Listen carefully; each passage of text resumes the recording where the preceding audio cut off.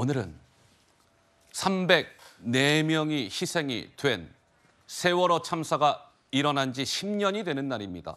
전국 곳곳에서 희생자들을 기리는 추모 행사가 열리고 있는데요. 경기도 안산 화랑 유원지에 취재 기자가 나가 있습니다. 자, 신선미 기자. 그곳에서도 지금 추모 행사가 준비 중인 겁니까? 어떤 상황입니까?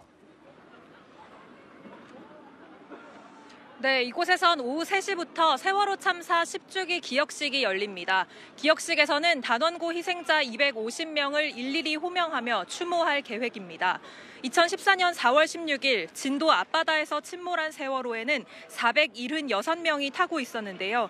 이 중 304명이 숨졌습니다.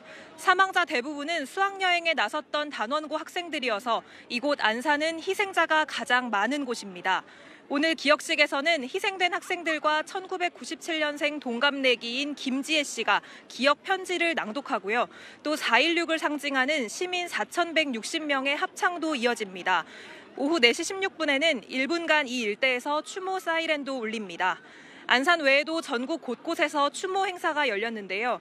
인천 일반인 희생자 추모관과 대전 현충원에서도 기억식이 진행됐습니다. 오전에는 세월호 유가족 등이 사고 해역인 진도 맹골 수도를 직접 찾아 선상 추모식을 진행했는데요. 이후 세월호 선체가 거치된 목포 신항으로 이동해 추모 문화제도 열었습니다.